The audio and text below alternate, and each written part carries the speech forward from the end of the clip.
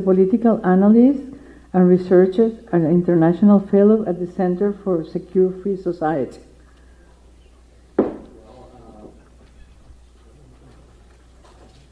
First and foremost, I want to thank the Inter American Institute for Democracy and all the organizations that made this possible. It's an honor and a privilege to be today with you.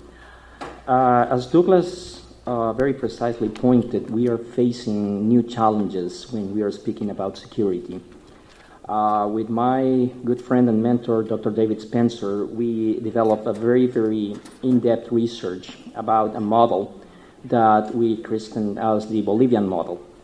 That's because the origin of this model, uh, which blueprint is now being used all over the Bolivarian alliance, was originated in Bolivia, where actually something that had no precedent in uh, the history of mankind happened, and that's the unparalleled success of a criminal organization turning itself into the legal government of a fully functional Westphalian state.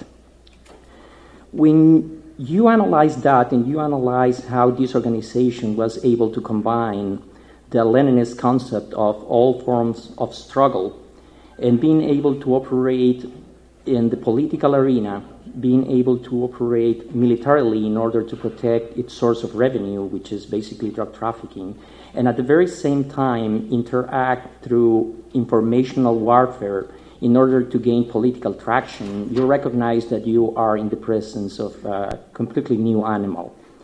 And when this organization was successful, the immediate consequence is that countries like Venezuela, for example, realized through Hugo Chavez, the late uh, Hugo Chavez, that they had a huge opportunity for uh, Venezuelans, it is absolutely known that they are the country with the largest oil reserve in the world. So, why would it be interesting for them to be involved in an activity like drug trafficking?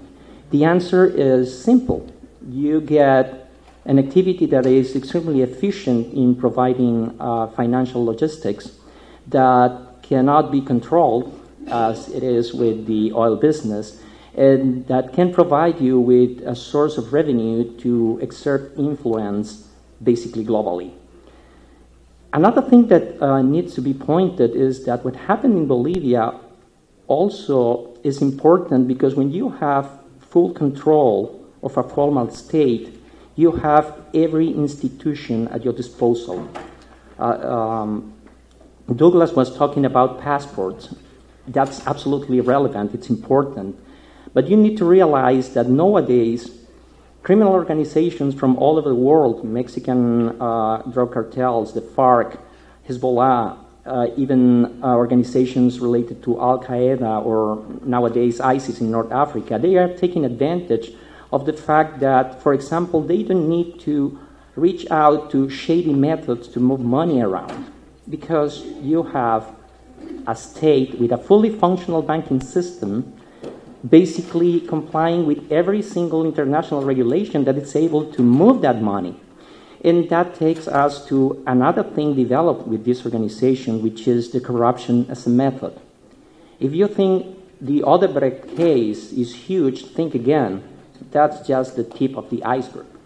Because what the Odebrecht case actually showed is that when you have such a large amount of money, the weakness that is inherent to Latin American states can be exacerbated and used to move money in such a scale that almost every single criminal organization around the globe can get a piece of it.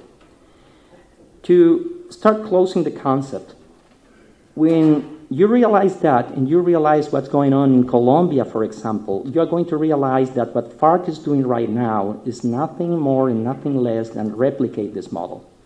They are, quote unquote, abandoning the frontal confrontation with the Colombian state, while at the same time they are splitting, that's uh, quote unquote splitting, into a segment that's going to protect the logistical financial base and a faction that's going to become a political party. If you are skeptical about the chances of the FARC becoming the legal government of Colombia, think again.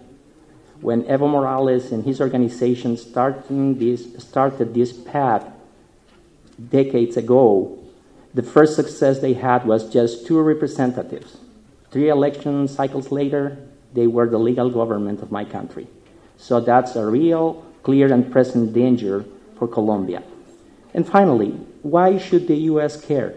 Take this into account. Every single major terrorist attack in Europe can trace its logistical base, its funding, through the activity of drug trafficking, basically cocaine. So when you put all these elements together, you need to realize that there are new threats, there are new realities that needs to be faced and needs to be faced quickly. Thank you so much.